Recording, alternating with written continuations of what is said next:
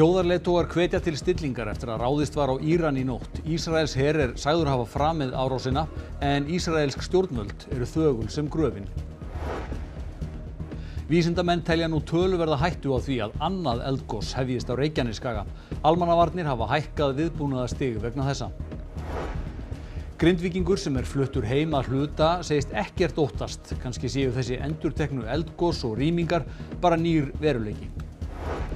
Það er nýs bankaráðs Landsbankans að ákveða hvort staðið verður við kaupin á TM tryggingum, segir stjórnarformaður bankasýslunar. Bankin ætlar að greiða tæplega 17 miljardar í arð á þessu ári. Borgarstjóri Reykjavíkur tók í dag við liklum að tveimur nýjum körfubílum slökkviliðsins á höfuborgarsvæðinu í 30 metra hæð. Vara slökkviliðsstjóri segir bílana auka björgunargetu slökkviliðsmanna og þar með öryggi íbúa.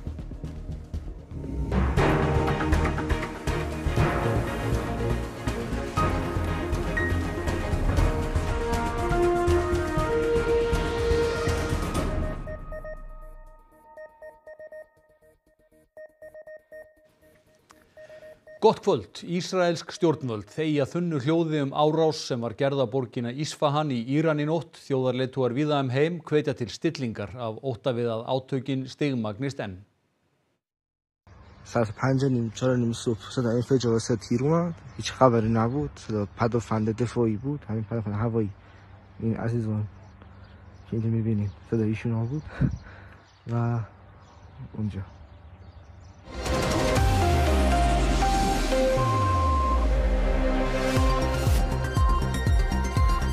בוקר טוב לכם, ארבע דקות לחמש, אנחנו עם עדכון מיוחד בעקבות דיווחים, דיווחים בעולם על תקיפה באיראן, אולי תקיפה ישראלית. Svona hófst morgundagsgráin í Ísrael og Íran.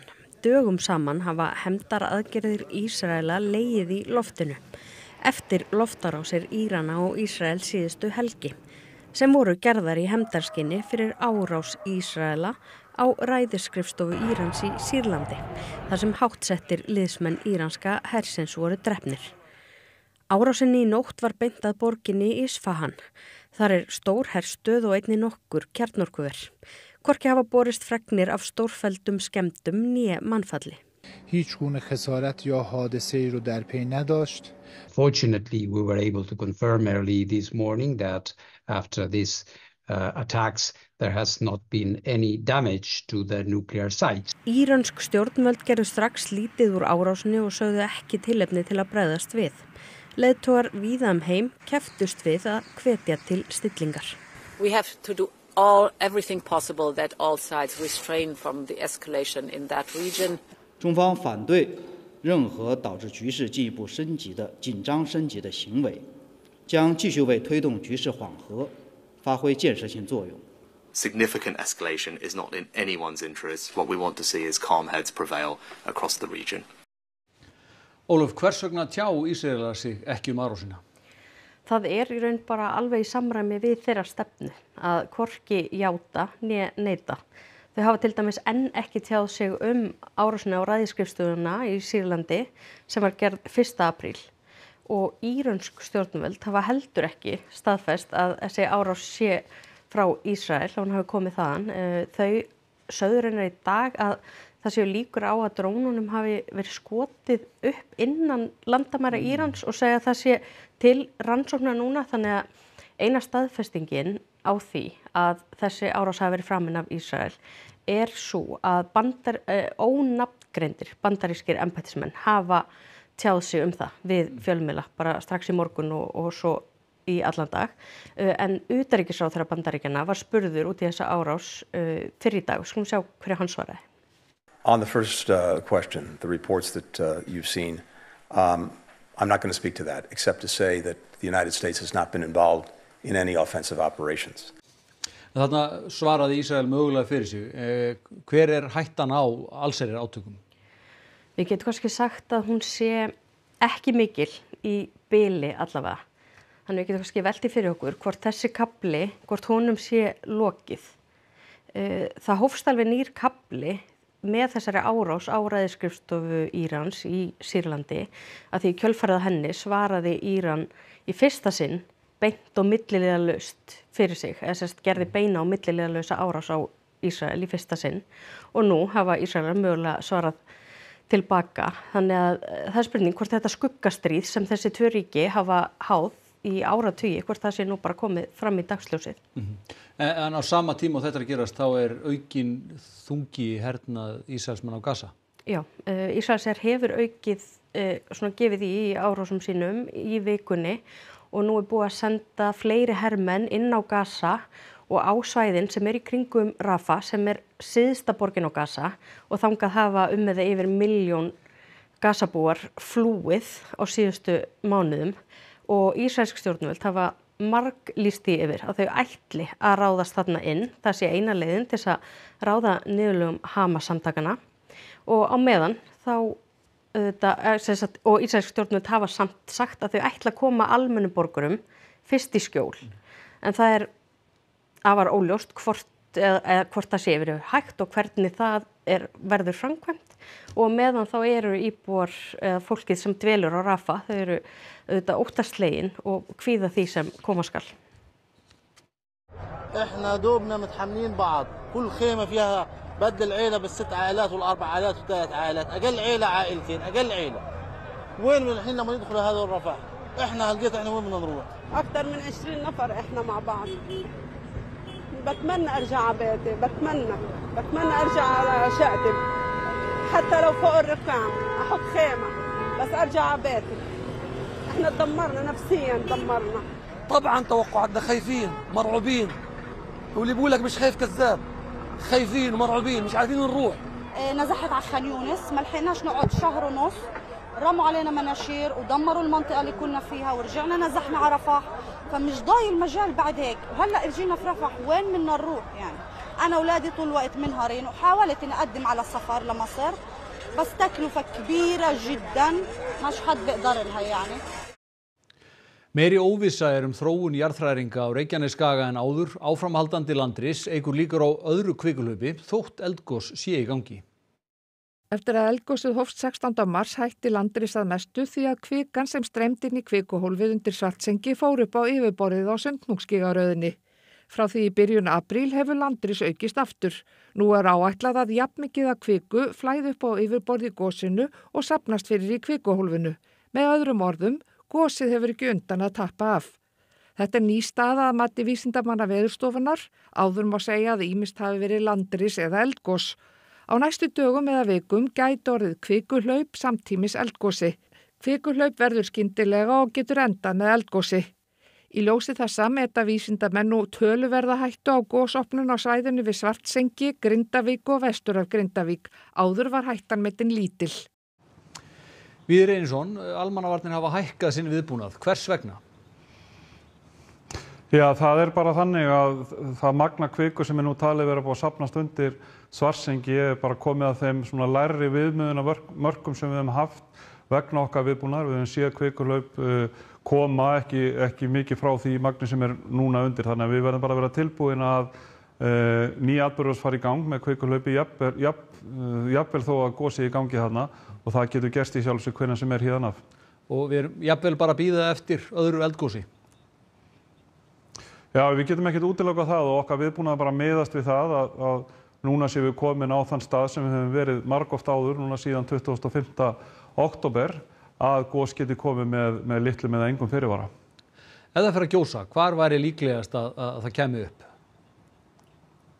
Já, það er náttúrulega langt líklegast að koma upp í þessari sundnúka gíguröð sem að það sem við séð gósin koma núna undanfarið og það er það sem við horfum til sem líklegasta svæðið og og þá án fyrirvara ef að e, kvika fer að brjóta sér aðra leið e, út úr kvikuhólfinu þá myndi svona sögn vísinda fólks myndi það þýða við um varfið það með frekari jarðskjáltum og meiri umbrotum heldur en við höfum kannski séð í síðustu e, atbyrðum.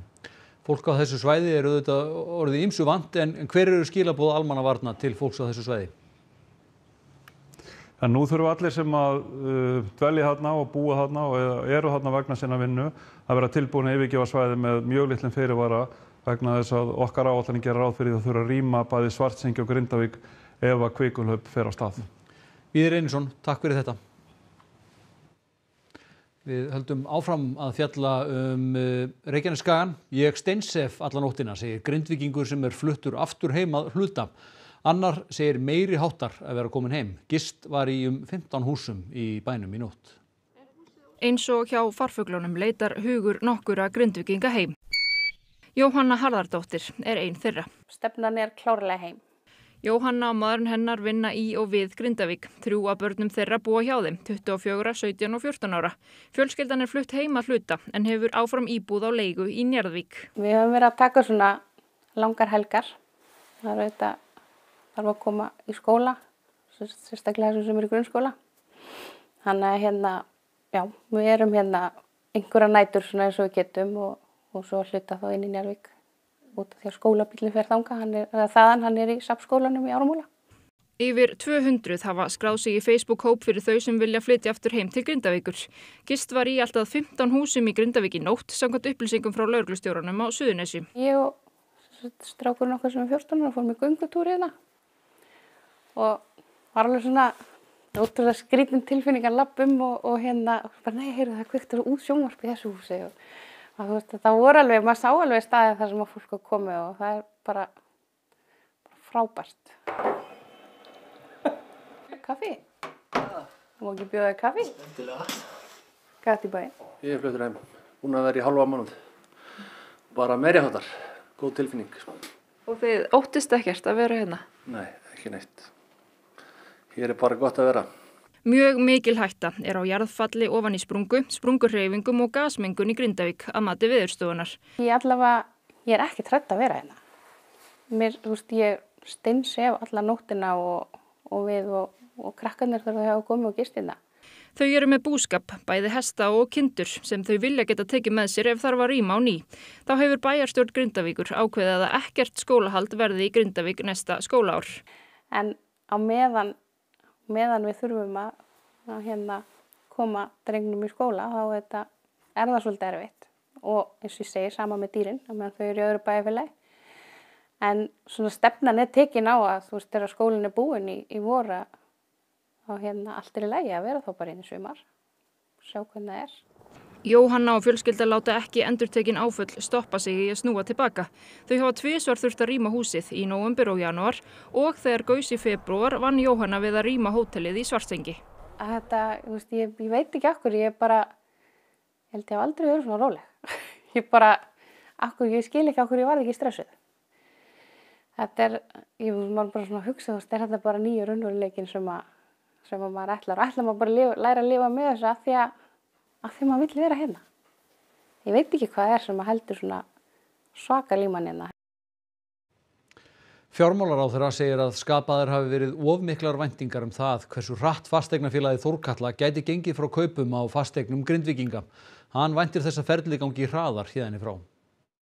Opnað var fyrir umsóknir um uppkaup ríkisins á eignum í Grindavík 8. mars. Seks vikum síðar hefur lítið gerst og aðeins brot þeirra 711 sem sóttu um fengið samþygt kauptilbóð. Þrátt fyrir lofórðum að umsóknirnar er þau afgreitar á nokkrum vikum. Ég held að vendingarnar sem voru gefnar í upphafi hafi verið full bjart sínar að það tæki bara 2-4 vikur og, og það er auðvitað miður að það hefði verið á þeim tíma. Sama tíma er, er, þarf að ganga frá samningum við eina átján lánveitendur þannig að þó svo að allar hendur hafi verið á dekki að þá hefur það tekið heldur lengri tíma. Grindvikingar fjölmyndi á Austurvelli í gær til að mótmæla seinagangi Þorgöllu. Margir fastegna eigendur er í lausu lofti og þurfa á fjármagnun að halda til að ganga frá kaupum á nýjum eignum. Sigurður Ingi segist skilja gremju grindvikinga og að upplýsingagjöf hefði mátt vera betri. Undibúningsferlið hafi tekið mun lengri tíma en von var á en það sé verkefnið fordæma laust. Málun sé þó í réttum farvegi. 115 hafi fengið samþygt kauptilbóði í gær og hann gerir ráð fyrir 150 samningum í næstu viku. Við erum að bæta upplýsingagjöfina og, og svona utanumhaldið um þetta verkefni. Við verðum að skoða það núna síðustu sólarringana bara í ráðnutinu og hjá Þórkvöldum. Þannig að ég hef miklu að trúa því að við séum verðum komin strax á mun betri stað bara strax hérna eftir helgina hvað það varðar. Landsbankin greiðir 16,5 miljard króna í arð á þessu ári. Þetta var samþykkt á aðalfundi bankans nú síðdeis. Fundinum hafi verið frestað um mánuð eftir að megn óanægja kom upp á yfirborðið með fyrirhuguðu kaup bankans á TM tryggingum af Kvikubanka. Vegna þess máls ákvað bankasýsla ríkisins að skipta út öllu bankaráði landsbankans og kjör nýja bankaráðsins var staðfest á aðalfundinum nú á sjönda tímanum. Nýr bankaráðsformaður er Jón Þótt Sigurgeirsson. Bankasýslan hefur lagt að nýju bankaráði að fara yfir kaupin með aðstóð utan að komandi sérfræðinga. Er einhverja líkur á því að það verði fallið frá kaupunum? Eh, Það er náttúrulega þannig að það eru, voru þó fyrirvarar í þessu tilbóði, bæði varandi samþækki FME Selabankans og líka samkjæmniseftirriðsins. Og þessir aðlar eiga eftir að segja sitt. En það er al, alfæri núna, eftir þessi kaplaskipti, þá er það nýja bankaráði sem fer onni málið og skoðar hvað valdkostir eru og að sjálfsögðu út frá því sem er hagstaðast fyrir bankan að teknu tillit til eigandastefnu uh, ríkisins. Lauruglan í Vestirós í Svíþjóð skaut í dag mann sem er grunaður um að hafa ráðist á þrjár eldri konur með eggvopni. Konurnar voru allar fluttar á sjúkrahús. Einn særðist alvarlega samkvæmt talsmanni lauruglu. Var maðurinn skotinn því hann ógnaði lauruglumönnum. Hann var fluttur á sjúkrahús alvarlega særður. Laurugla segir ekki hægt að segja neitt til um ástæðu árásarinnar og telur að maðurinn sem er um þrítugt hafi verið einn að verki. Flugfélagið Boeing þarf að gera betur í öryggismálum hjá sér að mati prófessors í flugmálum hjá viðskiptaháskólanum í Dublin. Hún vil ekki fullirða að óhöpp tengd Boeing á þessu ári síðu vegna starfshátta fyrirtækisins en fyrirtækið hafi tekið lægri kostnað fram yfir öryggi.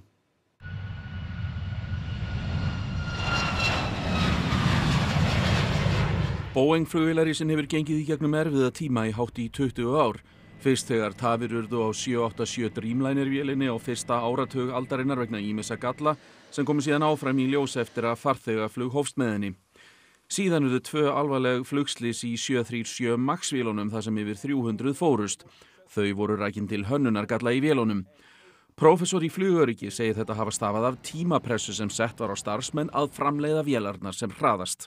and that has led to oversighting or forgetting or intentionally forgetting a number of safety issues. Þá beri flugmála eftirlit bandaríkjana, FAA, líka nokkra ábyrð. They have relied on the Boeing own assessments, uh, which downplayed the potential risk, and also that led to a, a flow approval process. So safety has been compromised for the sake of cost efficiency there. Uh, they have put at threat uh, the pilots, the crew, uh, the passengers and those on the ground. Svo virtist sem málin væru leist en á þessu ári hafa komið upp nokkur óhöpp í Boeing-vélum. Meðal annars losnaði hurð við neyðarútgangi í einni vél og í annari kviknaði í hreiplið þegar vélum var á flugi. FMU vill ekki fullir það að þessi óhöpp þýði að sama stefna sé við líði hjá Boeing en traust hafi rýrnað. Boeing still needs to do more and build up the trust towards their aircraft, not only for the aircraft operators, but also for the passengers and overall the public. Nánar verður fjallað um sögu Boeing í heimskviðum að rás eitt eftir hádegisfrettir á morgun. Forstjóri eins stærsta gagnavers fyrirtækis Íslands tilur að rafmyndagröftur sé við það að leggjast af hér á landi. Umfang gagnavera hefur stóru aukist á síðustu árum. Tölvupóstarnir, myndirnar í símanum þínum, gögnin af samfélagsmiðlunum og stærstur hluti þeirra stafrænu upplýsingar sem þú nýtið eru geimdar í skíinu. Með öðrum orðum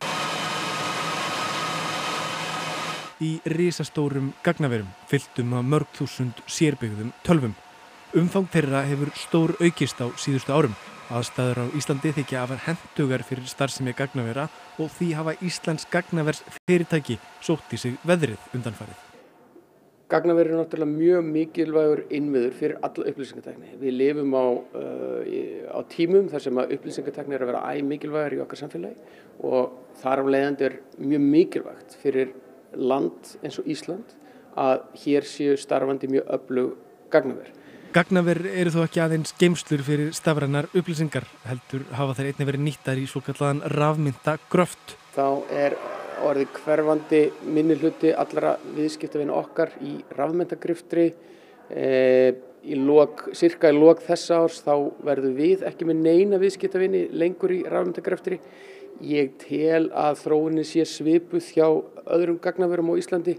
Síðasta sumar áallaði forstjóri landsvirkjunar að gagnavera á Íslandi hefðu notað alltaf 120 megavött í rafmyndagröft. Erfitt er að segja nákvæmlega hversu mikið rafmagn fer í slíka vinslu en ljóst er að hún hefur minkað mikið. Ég býst við því eh, að þessi tala verði mjög nálagt eða null þegar á næsta ári. Ég get náttúrulega bara fullir fyrir okkar fyrirtæki en ég tel að þróunin sé mjög svipið hjá öðrum gagnarsfyrirtæki. Slökkviliðið á höfuborgarsvæðinu fekk tvo nýja körfubíla afhenta við heldur óheðbundna aðtöfn í Hafnafyrði morgun. Vara slökkviliðstjóri segir teknibúna bílana færa slökkviliðið inn í nútíman. Í tæplega 30 metra hæði körfubíl, klæptur samkvæmt ídrustu öryggistöðlum, tók Einar Þorsteinsson, borgarstjóri Reykjavíkur, við liklunum að nýju bílunum. Úr hendi fulltrúa Bronco Skylift, framleiðanda bílana. Vara slökkvilistjóri slökkvilisins á höfuborgarsvæðinu fagnar komu bílana sem hann segir mikla byltingu. Náttúrulega fyrir utan að þetta eru nýtæki með öllum þeim nýjungum sem fylgir því að taka nýtæki í nótkun þá eru svona kannski sá bíl sem við erum í núna, hann fer upp í 45 metra en eldri bílarnir okkar komust hæðst upp í 34. Auk þess eru þráðlausar stýringar á öllum helsta búnaði og eru bílarnir útbúnir hitamyndavélum þar sem hægt er að streyma myndefni til aðgerðar stjórnstöðvar eða í stjórnstöðvar bíl og gefur betri mynd af aðstæðum ofanfrá. Birgir segir komu þessara tækja auka björgunar getur slökkvelismanna til muna og þar með öryggi íbúa. Auðvitað alltaf að vera með ný tæki sem maður getur treyst betur á, eldri bílarnir svona bílunatíðin farin að aukast og annað slíkt og bara ný tæki með nýjungum, með, með sko, stærri mónitorum, auknu vassmagni, e, það er bara svo margt sem fylgir þessu sem bara, við erum bara komin í nútíman loksins með þessa körubíla og við erum búin að býða svolítið eftir því. Þá að veðri, suðaustan kaldi eða stinningskaldi og slitta eða rigning engum um landið vestanvert, vaksandi sunnanátt á morgun með súld og rigningu, kvassast og úrkomumest á vestanverðurlandinu. Hiti 6-12 stig hlýjast fyrir norðan og austan. Búast má við miklum leysingum, auknu afrensli og vatnavöxtum í ám og lækjum og eru gular viðvaranir í gildi norðanlands á morgun. Sigurður Jónsson, veðurfræðingur, hann fer nánar yfir horfurnar næstu daga á loknum íþróttafréttum ef að Björk Benediktsdóttir er á vaktinni í kvöld. Snorri Steit Guðjónsson landslýsjálfari í handbolta valdi í dag hópin fyrir tvo leiki gegn Íslandi þar sem HM sæti er undir. Og fjörðileikur Vals og Njarðvíkur í áttaliða úrslitum Íslandsmóts kvenna í Körubolta var í dag þar sem Njarðvíkar með sigri tryggt sér sæti í undanúrslitum. Og karlalið Vals í handbolta leikur í undanúrslitum Evrópubikarsins á sunnudag en liðið er sömuleiðis komið í undanúrslit ólýsteildarinnar. Revjum upp helstu atriði frétta. Þjóðarleitógar hvetja til stillingar eftir að ráðist var á Íran í nótt. Ísraels her er sagður hafa framið árásina en Ísraelsk stjórnvöld eru þögul sem gröfin. Vísindamenn telja nú töluverða hættu á því að annað eldgós hefjist á Reykjaneskaga. Almannavarnir hafa hækkað viðbúnaðar stig vegna þessa. Grindvíkingur sem er fluttur heim að hluta segist ekkert óttast. Kanski séu þessi endurtveknu eldgós og rýmingar bara nýjir veruleiki. Það er nýs bankaráðs landsbankans að ákveða hvort staðið verður við kaupin á TM tryggingum, segir stjórnarformaður bankasýslunar. Bankin ætlar að greiða tæplega 17 miljardar í arð á þessu ári. Næstu fréttir verða í útvarpinu klukkan 10 í kvöld og á rúf.is mann nálgast allar nýjustu fréttir á íslensku, ensku og pólsku. En þessum fréttatíma er lokið. Verðið sæl og góða helgi.